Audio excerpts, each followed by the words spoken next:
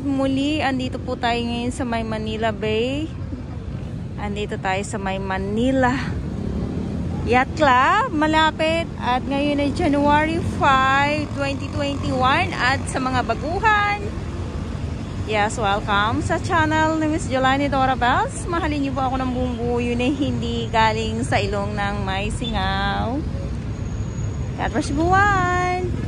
At may bago na pong net dito, no? Ayan, so kahapon to sinimulan nila kuyang.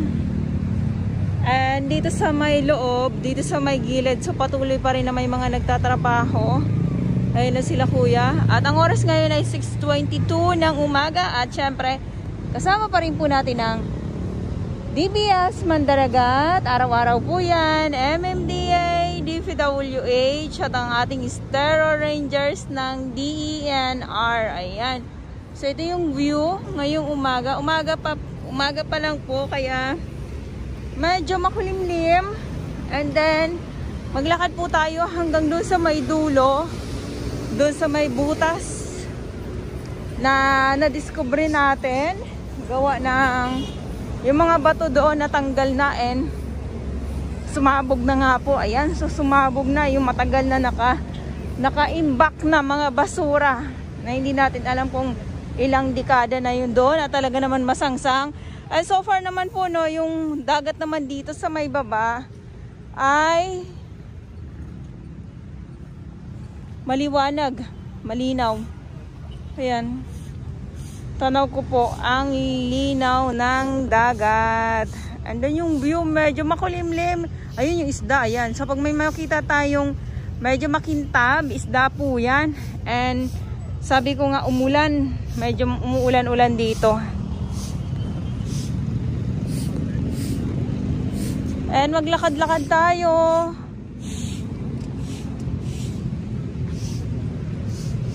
Sabi ko nga lakad tayo hanggang doon sa may dulo. And ito yun dito eh. Parang inano na to no, simnemento na lang yata to itong bato na to. Oh.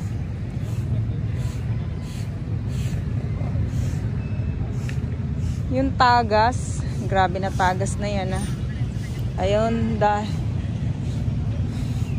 dahil sa mga tagas-tagas na yan at mga amoy na hindi kaaya-aya. Yun ay, yun ay ating nadidiscover.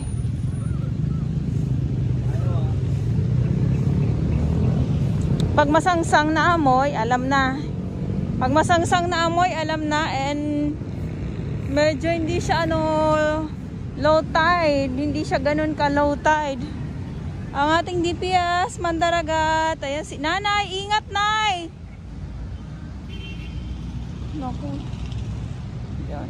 So talagang kahit sa kasulok-sulukan. And tara maglakad. So ito yung view dito, ayan. So so far naman, yung kahapon doon no, na sabi ko nga na maamoy, ay ngayon, siguro dahil ay medyo low tide siya, uh, high tide siya pala, pasensya naman. Medyo high tide siya, ay may sounds, wait lang.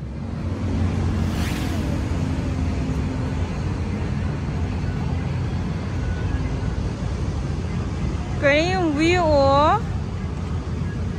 Ganda.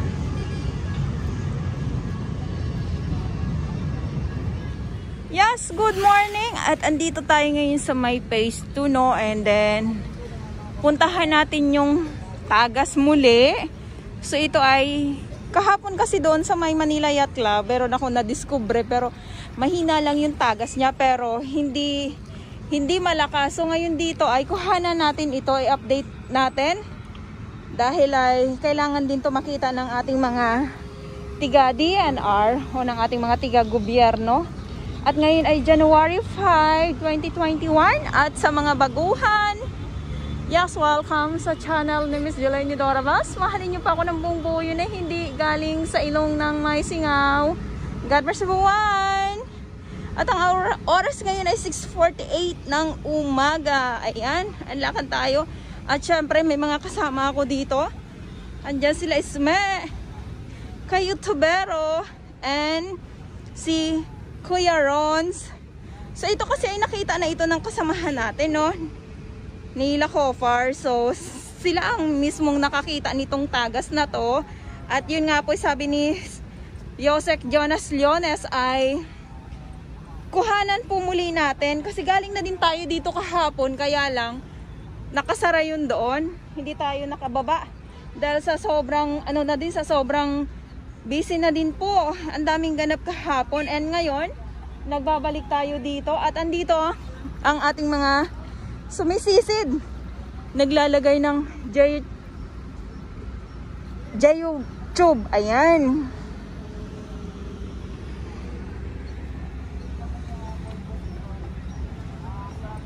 Ito yung sinasabing pag nasa ka, sa kabatuhan ka daw, ang sinasabi, no, ah, pera hulog, pera gasgas, sa madaling salita, sana hindi madulas at hindi tayo masugatan.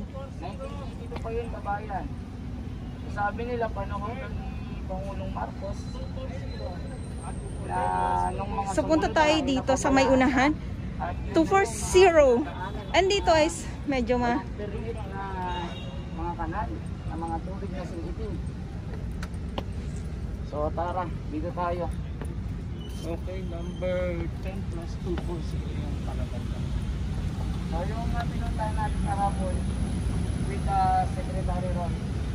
Eh, 64. Sabi dati malakas kang bigay, sabi niya. Alam mo, ano ba mga pwede ito? 240. 220. Hindi naman doon dahil malakas yung pero dati malakas doon eh.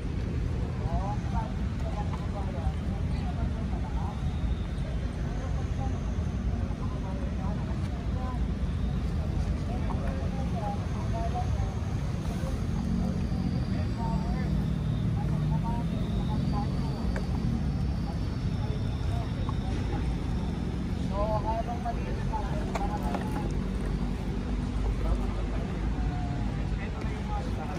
para Tingnan natin yung Pag may mabaho, so ito na.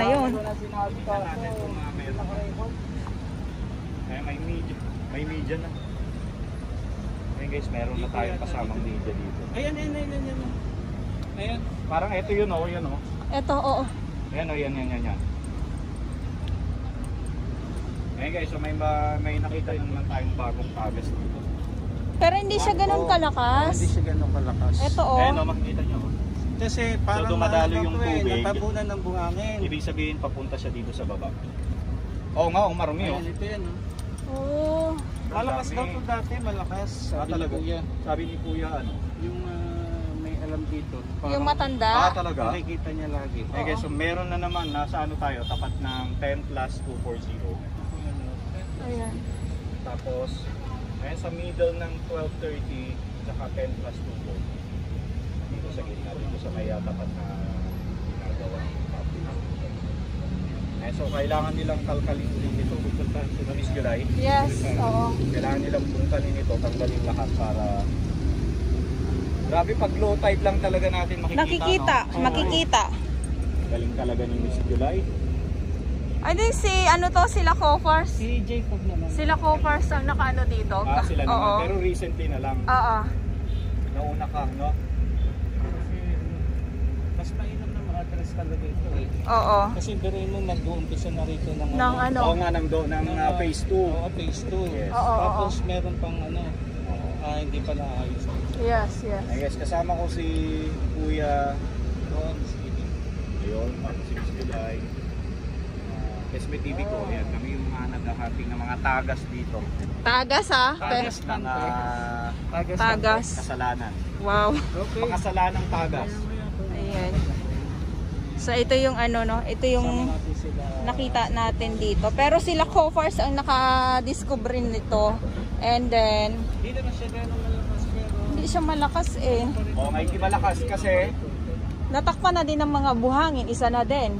pangalawa, hindi siguro this time ang tapunan nila. Ah, No? Oo. Siguro mga hapon. oo. No? Ganun. Eh, kaya And- mahina pa yung tubig. Pero, eh, so hindi lang natin sure kung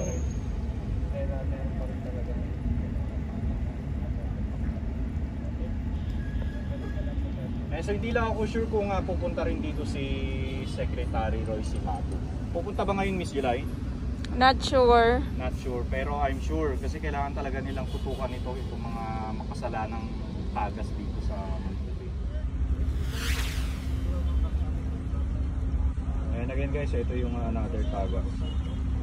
Ayan makikita niyo gumagalaw yung tubig. Dumadali dito sa baba. Kung may isda ako nakikita dito ah.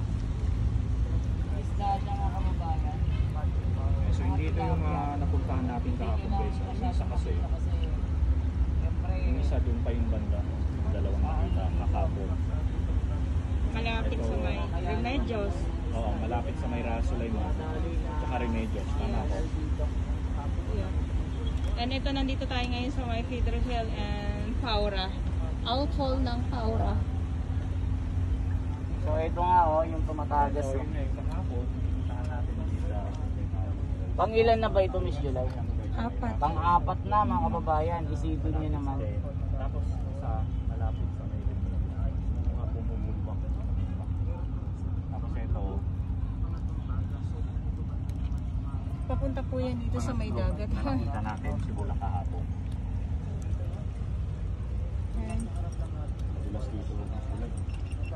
Oo nga, eh, kaya nag-ano ako eh. sa, so ang gagawin na naman nila rito, kailangan tanggalin lahat yung mga bato dito para makita. At pupukunin doon. Kaya illegal. At doon lahat tumatagas. Doon lahat tumadali yung mga maduduming